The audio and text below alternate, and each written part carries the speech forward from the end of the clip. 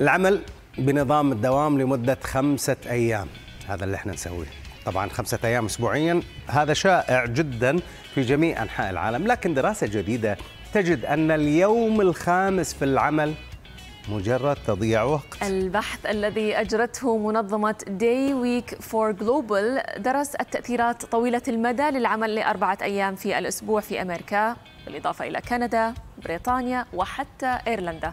ووجدت أنه كلما زاد العمل عن هذه الأيام كلما قلت الإنتاجية. حبيت أنا الدراسة. حبيتيها؟ طيب الموظفون اختبروا العمل لأربعة أيام أسبوعيا على مدار 18 شهرا. بشكل ما تحسنت صحتهم العامة وازداد رضاهم الوظيفي.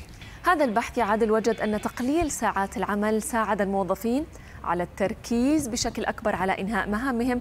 طبعا من دون مماطلة سواء في الاجتماعات غير المثمرة الأحاديث الجانبية وتضييع خمس ساعات على الأقل من دون عمل.